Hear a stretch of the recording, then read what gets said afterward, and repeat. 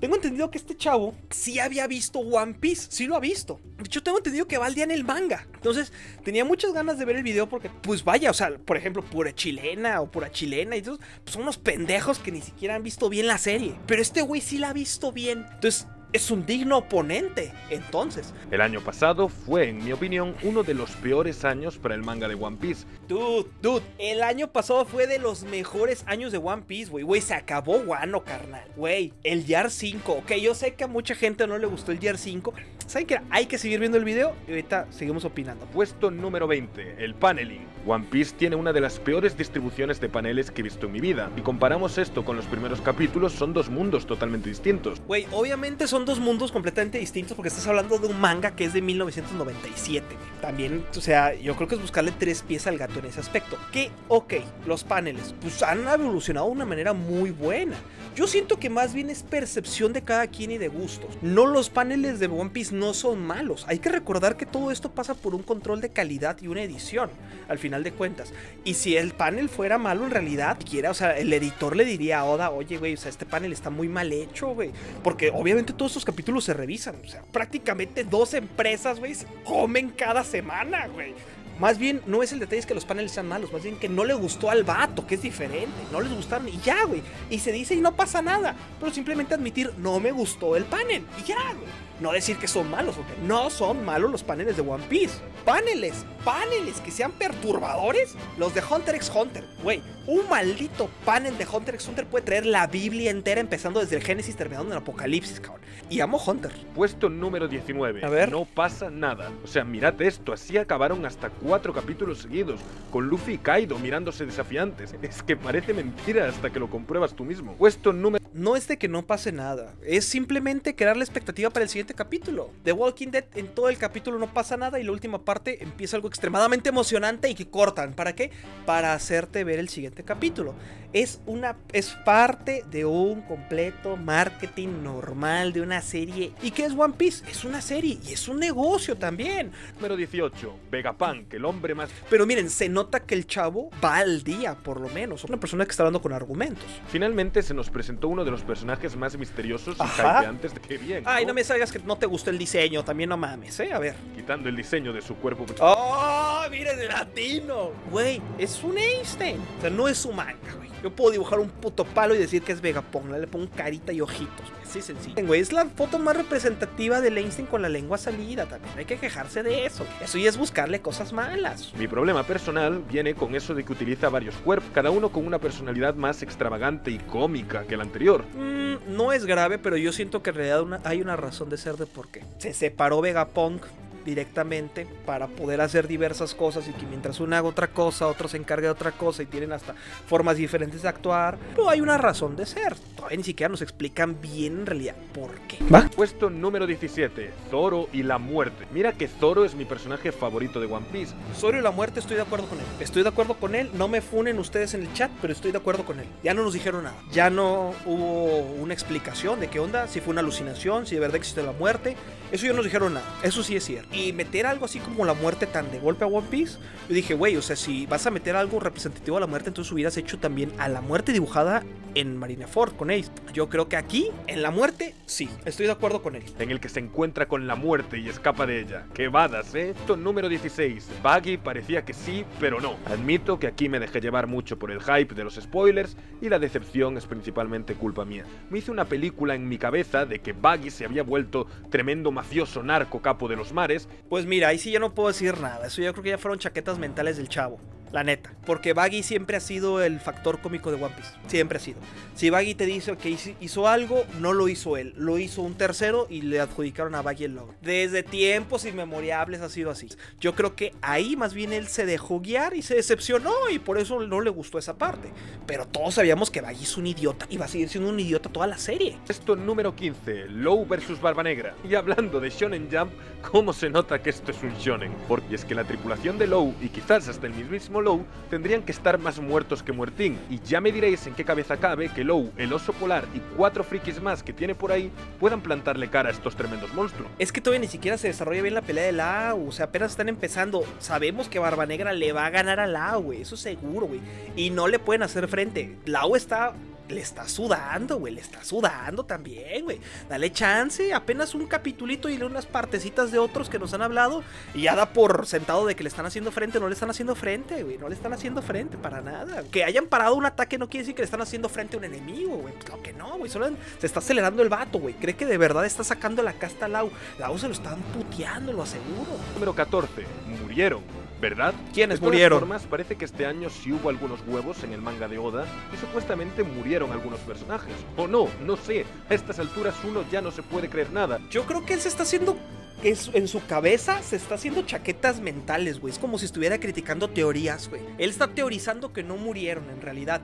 Y él ya desde antes se está visualizando que no murieron y eso lo, le pega en la cabeza porque las muertes fueron buenas. Entonces ese es el tema que el vato se está haciendo en su cabeza algunas chaquetonas y piensa de, "Y, pero ¿y si no están muertos? A ver, carnal, güey, ya, tengo que- o sea, ve el manga y disfruta hasta donde va. Si te dijeron ahorita están muertos, disfruta su muerte. Así de sencillo, disfrútala. Puesto número 13. Hiyori siendo racista. Sencillamente uno de los momentos más XD de todo el arco de Wano. Y eso ya es decir mucho. Después de insistirnos durante todo el arco que las acciones de Orochi fueron motivadas por el tremendo racismo y deshonra, qué mejor idea de cerrar todo con esta frase. Nacieron para arder. Pero honestamente no creo que la nueva era de paz de Guano deba cimentarse sobre los pilares de la discriminación de nuevo. Si un cabrón asesinó a tu familia, a tu papá, hizo la vida imposible a toda la gente, ¿vas a dejarlo impune? ¿Vas a dejarlo de, ay, pero es que somos bien buena gente, ya no, chinga tu madre y arde en el infierno, tú también, desgraciado, güey. Güey, quemaste a mi padre, güey. Venganza. Ah, eso sí está, eso está mamón, la neta. Número 12. Shanks vino a vender la peli. Esto más que malo es simplemente divertido. Eso sí es cierto. Concuerdo con este tipo en eso. Concuerdo en este tipo con eso. Creímos que íbamos a ver a Shanks en acción. Creímos que iba a estar muy perro. Creímos que iba a estar todo muy chingón. Que la película, la fregada. Y solamente nos vendieron puro humo con Shanks. Y pegarle a Uta al final de la película. Y ya. Puesto número 11. Los personajes son NPCs. Esta a mí me enfada muchísimo. Más ¿Cuál es, güey? siempre escucho que el mundo de One Piece está muy vivo y tal, pero es que esto es directamente falso. La gente no actúa como gente real, no hablan entre ellos a menos que nos lo muestren. Pues porque te tienen que mostrar que hablan con ellos para que tome significado, güey. Y es que no me explico que en los dos años que pasó Robin con el ejército revolucionario, Dragón no le contase que conocía a la gente de O'Hara y lo que pasó tras la masacre. Pues yo creo que simple y sencillamente no era necesario, güey. Si ni siquiera les dice que su hijo es Luffy, menos le va a decir a esta tipa que acaba de caer que conocía a los de O'Hara, güey. No le entiendo el argumento al vato. De verdad, Robin y Dragón nunca hablaron de O'Hara. No, no hablaron de O'Hara, simple y sencillamente no. ¿Y ya? ¿Por qué? Porque Dragón se lo quiso guardar. Por algo se lo va a haber guardado. Puesto número 10, el pasado de Kaido. Aquí tienes razón, el flashback de Kaido fue muy corto, me hubiera gustado un flashback más largo. Siento que fue un flashback que no nos explicó nada. O sea, sí explicó grandes cosas, pero hubiera estado más chido que se dedicara unos capitulitos, de perdido unos tres, a explicarnos qué pedo con el pasado de Kaido. Eso sí, eso sí le doy la palomita al vato, la neta sí. Puesto número 9, Kaido, la criatura más poderosa. Por Ot- meter un ¿Otra vez poco Kaido? más de leña al fuego y seguir haciendo hincapié en la basura que es Kaido como villano, al ser incapaz de haber matado absolutamente a nadie en todo el arco. Y eso que era la criatura más poderosa, imagínate si no lo fuese. No, güey, pues es que también, también, no manches, o sea, que fue una noche en realidad, güey, una noche. Digo, bueno, si él cree que debió haber matado más caído gente, pues es su opinión y es completamente válida. Es cierto, pero también hay que negar, güey. Bueno, en realidad sí mató a alguien, al del CP0, garrotazo. Sí, güey, sí mató a alguien. Pues simple y sencillamente, pues yo creo que ya había causado demasiado sufrimiento también. O sea, esto es un shonen, no un seinen, güey. También no te equivoques de la demografía de la, del anime o manga que estás le- viendo leyendo. Puesto número 8, el gobierno más incompetente. Vaya puta panda de viejos chochos meados y seniles. Somos más inútiles, me parecen. Sabían el peligro de la fruta de Luffy y lo dejaron ir por ahí como si fuese un pirata. No, no, no, no, no, no, no. Ellos no sabían directamente que esa Gomu Gomu era la Jito Jito. Que quede muy claro. Y si no entendió eso, que se regrese al capítulo y lo lea. No, no, no.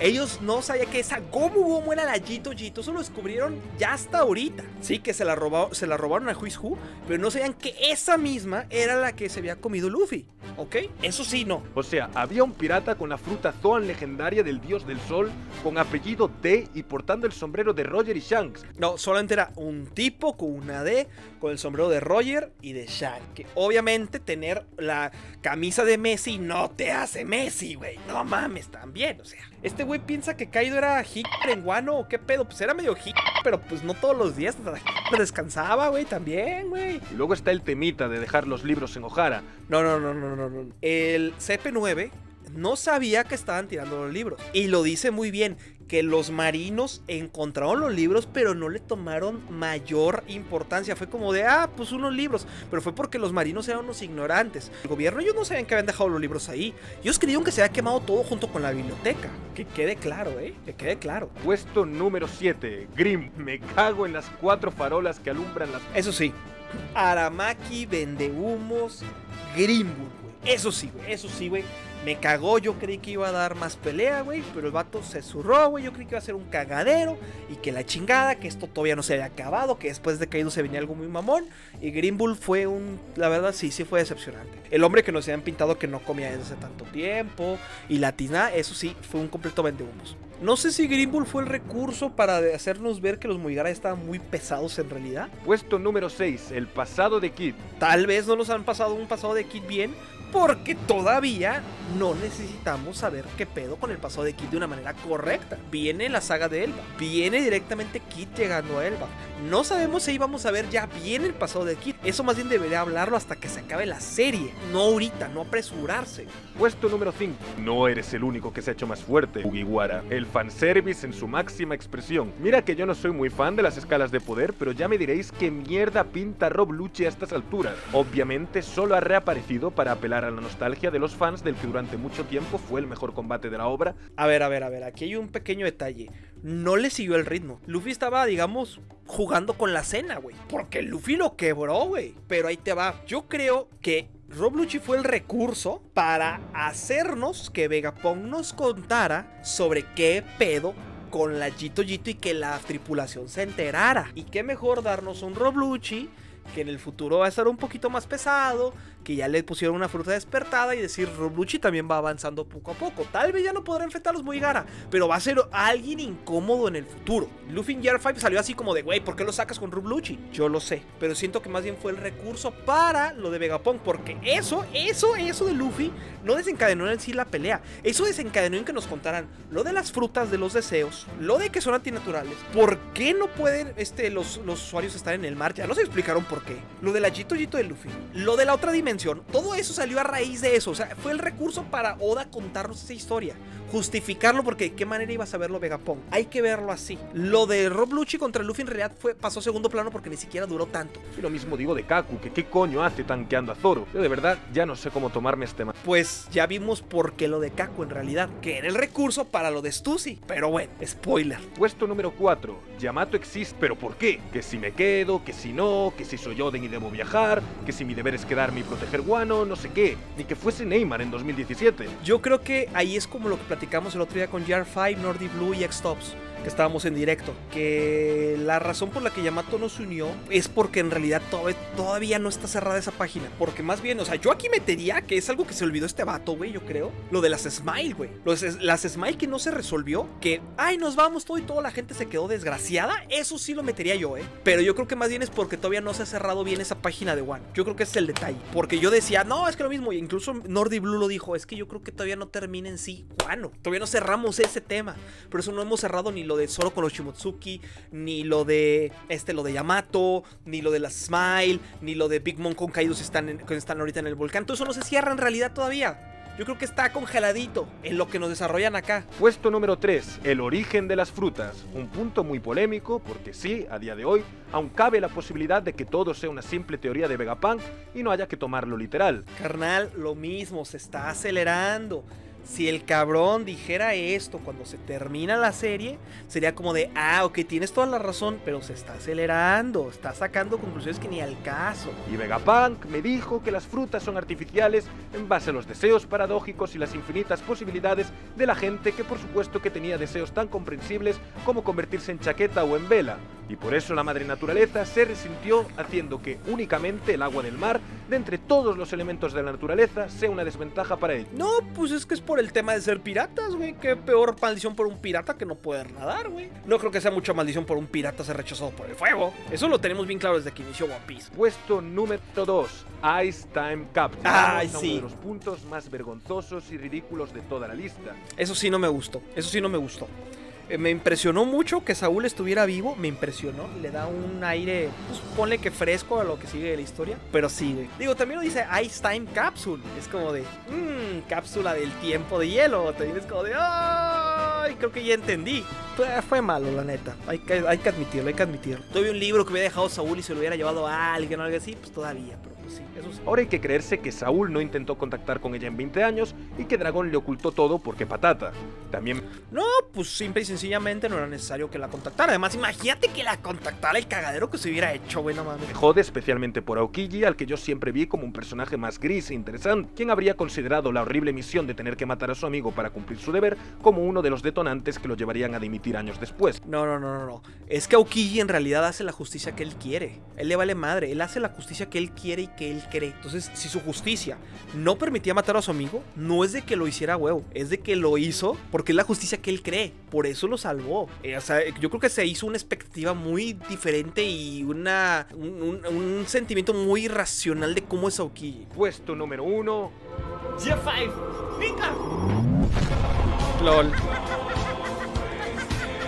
Joy Boy. Señoras y señores, tengo el honor de presentarles el capítulo con el que One Piece murió ante mis ojos. No me malinterpretéis, me encanta su diseño y hasta cierto punto sus graciosas habilidades. Es verdad que le resta muchísima seriedad a todo y que el combate contra Kaido acabó siendo una broma, pero bueno, Kaido Güey, Luffy siempre ha sido así, güey. El combate contra Enel, güey, hasta se le ponen chapetitos, güey. Pero nada, mejor sacarnos del culo en pleno capítulo mil y pico que siempre fue la fruta Zoan legendaria, modelo humano dios del sol Nika.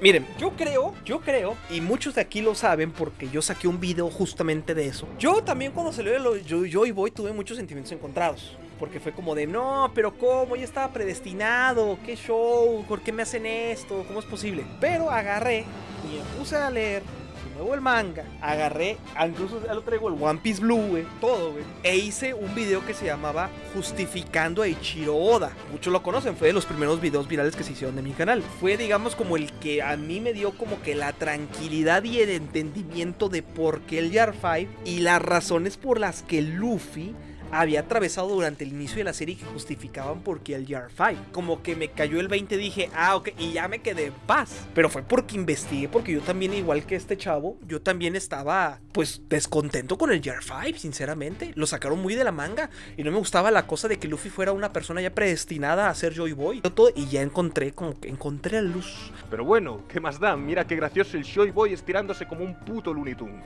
Pues de todo, es la mejor transformación de todos los tiempos porque mi madre me dijo que es un power-up diferente porque nace de la risa y lo... No, porque Oda siempre había querido dibujar así, güey. Oda siempre había querido dibujar así, él mismo lo dice. El hecho de un Joy Boy libre es un hecho de. es el hecho en realidad de un Oda libre, güey. Pero por hoy ya me he quedado a gusto. Ya se desquitó. Bueno, ok. ¿Ustedes qué piensan? ¿Qué piensan? ¿Creen que, ¿Creen que tiene razón lo que está diciendo este chavo en realidad? ¿Creen que no? ¿Qué piensan ustedes? Pero bueno.